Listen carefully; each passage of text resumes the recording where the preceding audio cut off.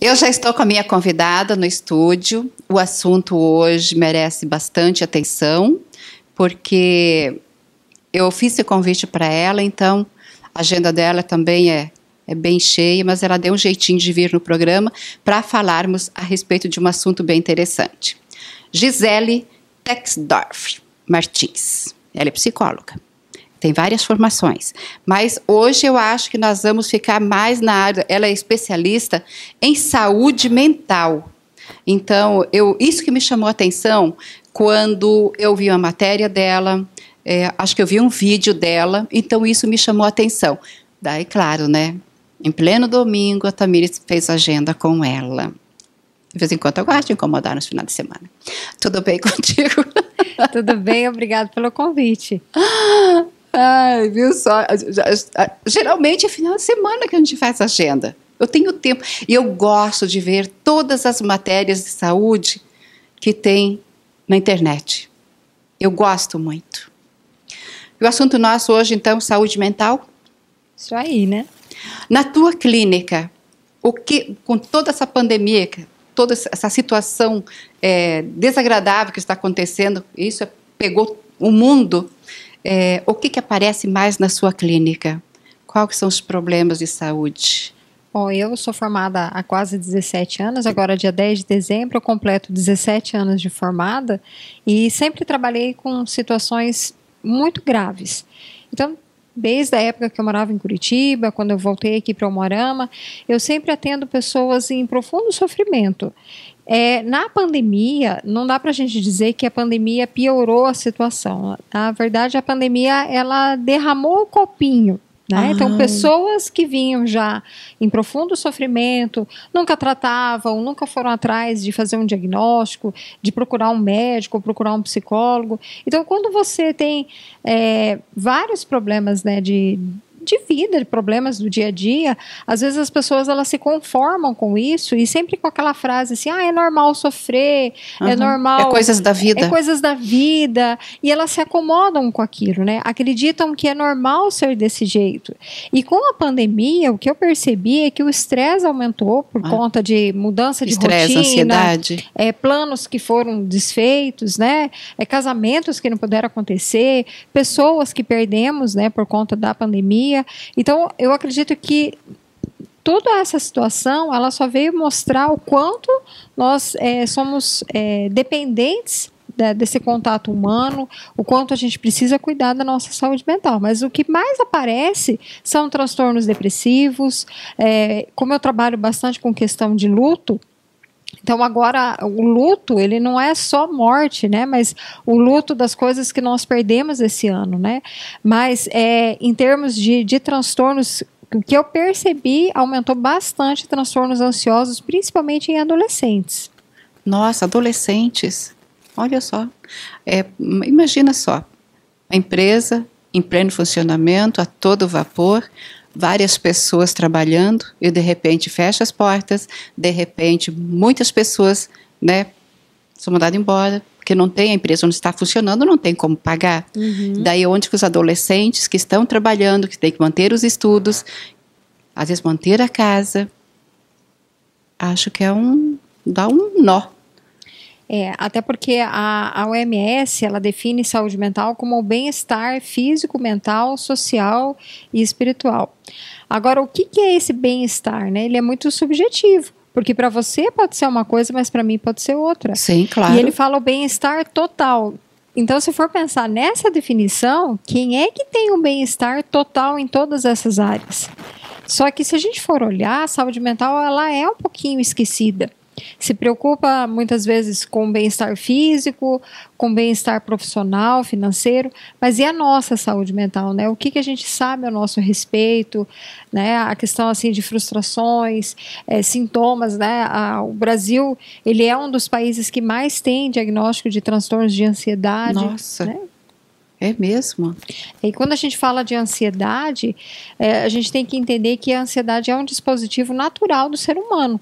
Para quê? Para avisar que é para você se preocupar com alguma coisa, né? Um estado de alerta, como se fosse um alarme, para que você possa frear e se preparar aquilo que há de vir. Então, por exemplo, eu tenho uma prova amanhã, então o meu cérebro ele vai ficar preocupado, ele vai mandar um aviso, ó, você precisa estudar, você é, pode acontecer alguma coisa e você não ir bem. Então, num transtorno, numa, numa ansiedade normal, esse alerta ele vai soar para que você possa então estudar.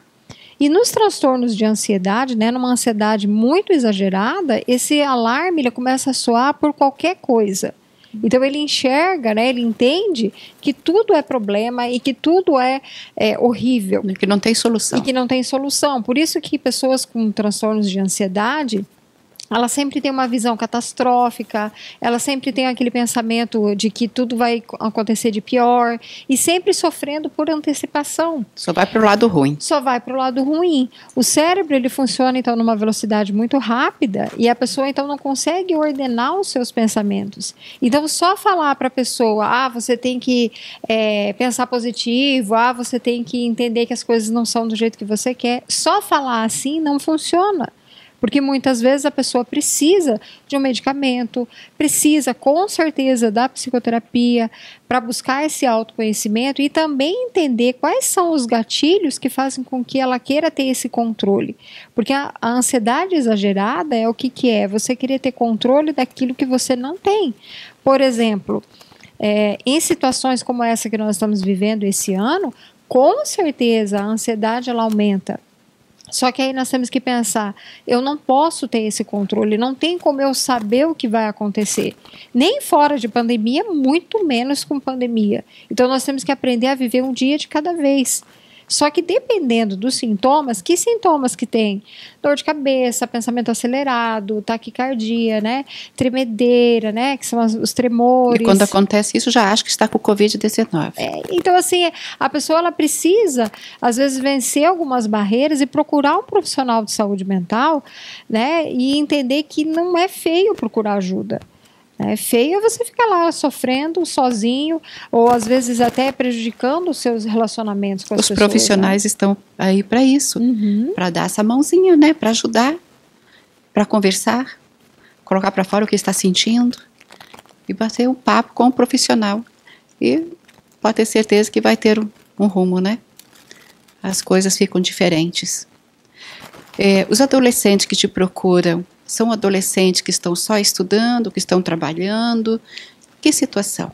É, a maioria dos adolescentes que eu atendo são adolescentes que não trabalham, né? Então eles vêm de uma rotina onde de estudos que eles já estudavam, né? Então eles tinham uma rotina diferente e de repente essa rotina mudou. Então eles eles precisam se organizar de novo para estudar. Então não se torna atrativo para eles aquele tipo de aula. É, eles reclamam dessa questão da câmera. Muitos têm vergonha de ligar a câmera. Então alguns reclamam até de sofrer bullying porque é, tem deboches né, daquilo que tem na câmera, ele acaba se isolando, não tem a questão, às vezes, do, do prazer em estar estudando. A maioria reclama de desânimo, de irritabilidade, de angústia de estar ali sem contatos com outras pessoas. Né? Porque o que, que, é normal na adolescência? Ele ter os grupos é, dele. É, sim, sim. Eles, agora, eles, vivem em né? grupinhos. Né? E agora não tem, então não pode ir em lugar nenhum. Então, quando pode, é cheio de restrição. Então, mudou a rotina deles também, né? Nossa, para eles deve ser bem difícil mesmo, né? E depois se fica só via internet conversando, né? Porque eles fazem isso. Eu vejo é, muitos adolescentes, então eles montam joguinhos, daí eles jogam, um fica na casa de outro, fica na casa do outro, e eles fazem aquele jogo, então eles vão interagindo. É. Só que não é a mesma coisa, é lógico, né? O presencial é diferente. E tem uma questão que é importante os pais ficarem atentos, porque é, é, normal algumas coisas na, na adolescência, né? O adolescente ele está começando a descobrir a identidade dele, quem ele é, como ele é. Então ele vai querer ter um, um gosto diferente dos pais para dizer, olha, eu estou aqui, né? Eu sou pra eu. chamar atenção. Só que os pais precisam ficar atentos a esse comportamento, porque fica um pouquinho rebelde, mas que rebeldia é essa? O que ele tem feito, né? Então se inclui aí bebida, drogas, não é uma rebeldia simples, né? Então você precisa ficar de olho. Ah, ele fica muito tempo no quarto. Quanto tempo ele fica no quarto? E ele fica fazendo o quê? Eu preciso saber o que ele tem acessado, o que ele tem buscado, né? Porque é, a internet você encontra de tudo, pornografia, é, várias outras questões, assim, sites com péssima influência para o adolescente. Então, é ficar atento a mudanças muito significativas do, do comportamento, não só do adolescente, né, mas de todos. Porque uma das coisas que a gente precisa ficar atento é quando buscar ajuda, é mudança significativa de comportamento. Então, você era muito falante, passou a ser mais retraído. Aquele que era muito gatinho começou a ficar muito irritado, muito agressivo. Você percebe que o teu rendimento nas coisas que você fazia é, começa a cair. Né? Então, talvez muitos possam falar assim: ah, mas agora esse ano tudo é normal. E eu sempre é, falo para os pais ou para os pacientes que eu atendo, né? É normal uma criança ter virose, mas você vai deixar a criança ficar com todos aqueles sintomas da virose, você vai buscar ajuda. Então, por que, que em saúde mental, onde você está vendo que é um cansaço fora do normal, que é uma tristeza que não passa, uma irritabilidade sem nenhum motivo que justifique você estar daquele jeito, né? Então, é importante buscar o profissional Primeiro, para você identificar que causas são essas. Porque às vezes a pessoa até tem uma, uma justificativa, ah, eu estou nervoso por conta disso. Mas que tanto que é essa reação que ela tem? Porque sentimentos nós não controlamos, agora o comportamento sim. Então a pessoa tem acessos de raiva é, desproporcional ao tamanho do problema. Então todas as emoções elas são naturais e elas são necessárias na nossa vida. Por exemplo, a raiva ela te protege de injustiça, né? Você consegue é, perceber que estão sendo injustos com você. A tristeza ela é importante porque você reconhece algumas coisas, você dá valor em outras coisas, reflete sobre a vida, sobre aquilo que você perdeu ou aquilo que aconteceu. Agora, é, ficar só nessa, nesse estado não vai ser legal. Então, as pessoas elas confundem a tristeza com a depressão. Ah, isso é verdade. Né? A tristeza, ela é. é isso que eu acabei de explicar. É verdade. E ela tem motivo. Então, eu perdi um emprego, eu perdi alguém por Covid, eu perdi alguém aí que faleceu, terminei um relacionamento. Então, é natural que você fique triste não me impede de você buscar ajuda profissional, em momento algum. Agora, na depressão, primeiro porque a depressão é uma doença. E um dos muitos sintomas que a depressão tem, o mais clássico, né, que as pessoas conhecem, é a tristeza, mas não é a mesma tristeza. É uma tristeza intensa, é uma tristeza desproporcional ao tamanho do problema e pode aparecer sem ter acontecido absolutamente nada. Então é um erro muito grande das pessoas dizerem para a pessoa assim: ah, mas você tem casa, você tem tudo que você quer, você tem um bom emprego, olha como você é bonita. E não tem nada a ver, é, chega a ser até cruel, porque a gente sabe que na depressão Existem componentes químicos que, que estão desregulados, existem questões ambientais, sociais, e que a depressão ela é multifatorial. Então ela se combina, esse monte de coisa ruim, ela vai se, juntando. Vai juntando, né? Tudo junto e misturado. É, tudo tem junto e misturado.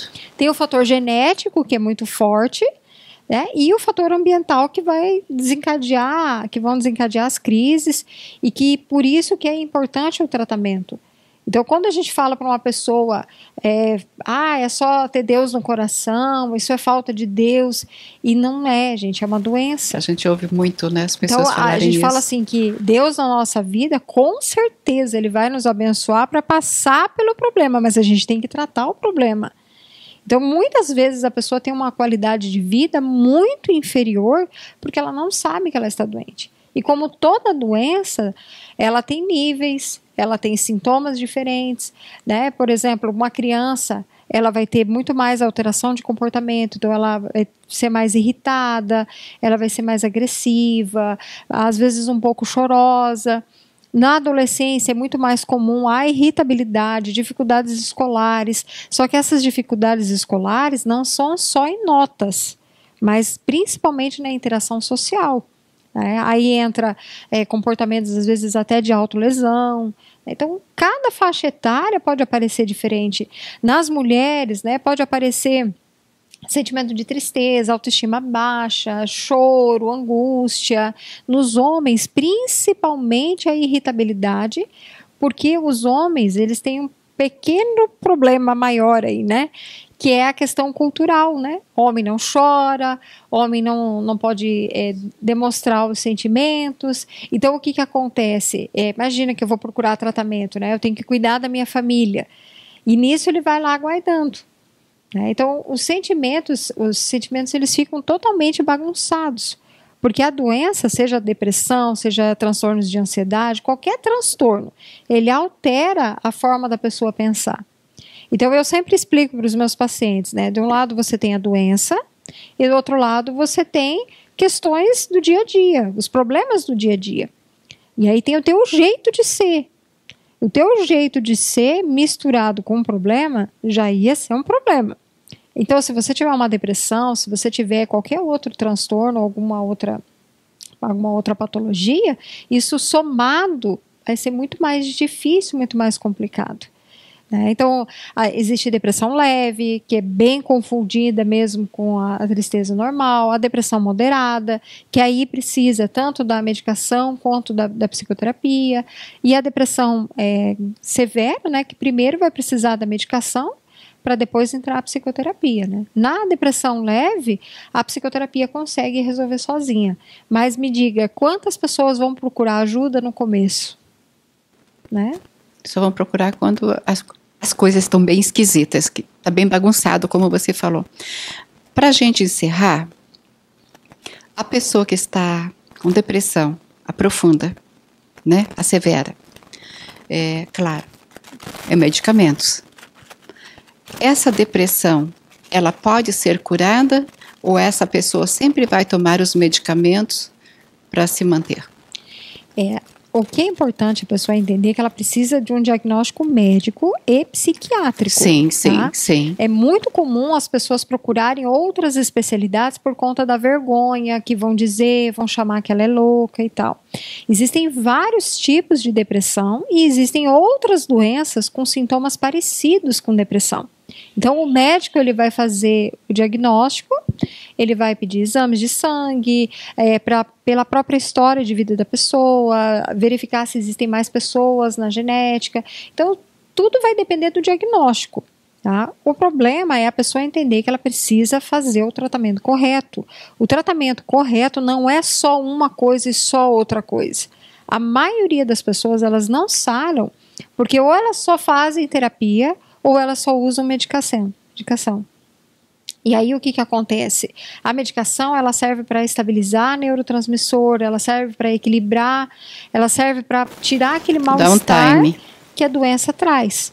E a psicoterapia ela auxilia a pessoa a entender o que ela tem, quais são os gatilhos que desencadeiam os sintomas da doença e o que, que ela pode fazer para evitar algumas coisas. Então as duas coisas andam juntas. Sempre andam junto.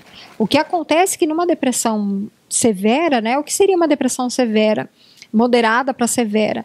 É, começam a ter pensamentos de suicídio mais frequente, é, uma autoestima muito baixa, uma tristeza profunda, a qualidade de vida dessa pessoa já está bem prejudicada, problemas no trabalho, problemas de relacionamento. Então, a vida dela começa a ficar paralisada por conta da doença. Então, ela tem prejuízos mesmo em relação à doença. É, e aí, quanto mais tempo a pessoa levar para buscar ajuda, pior vai ficando. Então, existem vários tipos de depressão e outros transtornos. Então, precisa da, da, da avaliação médica e a quantidade de remédio, que remédio tomar, quanto tempo tomar, o paciente precisa obedecer certinho. Porque tem alguns tipos de, de depressão que não vai precisar tomar remédio o resto da vida. Mas o problema é que a pessoa não toma certo. Começa, para, começa e para. Não dá resultado nenhum. Mistura com bebida alcoólica, hum. aí para, daí volta, aí toma de vez em quando, aí esquece. Ou então vai no tratamento, As não coisas conta, só vão se agravando. Não conta de verdade o que está acontecendo para desencadear crises. E dependendo do que a pessoa conta, até o que ela vai tomar vai mudar. Né? Então, é muito, muito sério isso, da pessoa levar a sério o tratamento para poder ter uma melhora. E se precisar tomar medicamento para o resto da vida, não tem problema. Né? Uma vez um paciente ele falou assim para mim, mas aí eu não vou ser eu. Né? Aí eu falei para ele, mas você acha legal ter explosões de raiva o tempo inteiro? Você acha que é você mesmo é, sendo dessa maneira, perdendo oportunidades, afastando as pessoas por conta desse teu mau humor, desse teu é, agressividade que muitas vezes vem? Aí ele, não, né? Eu falei, então, a medicação ela vem para estabilizar isso. Se você tivesse com diabetes, não duvido muito que você iria reclamar muito de ter que tomar medicação. É mais uma questão cultural das pessoas entenderem. Né? Agora, a questão é: eu preciso procurar a avaliação do, dos profissionais para ter o diagnóstico correto. Porque aí a gente começa a entrar em outras doenças que, às vezes, se você tomar o remédio errado, também vai trazer problema, né? Deixa o teu recadinho para o pessoal de casa, então. Fico muito feliz que você veio para o programa no dia de hoje procure o um profissional de saúde, né? A sua saúde mental ela é preciosa. Busque é, se conhecer, colocar para fora, escutar os seus pensamentos, né? Porque enquanto eles ficam aí dentro de você, eles se confundem, né? Com decepções, com frustrações. Procure ajuda profissional que você só tem a ganhar e ter uma qualidade de vida muito melhor. Viu só, gente, uma grande especialista é, que está aí à disposição de vocês, vocês que precisem. É, procurem. Vamos deixar um telefone? 98421-5577.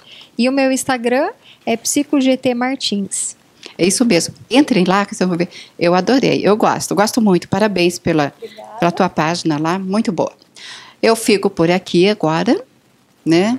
E nós vamos para o comercial e na sequência nós temos aí a doutora Josiane.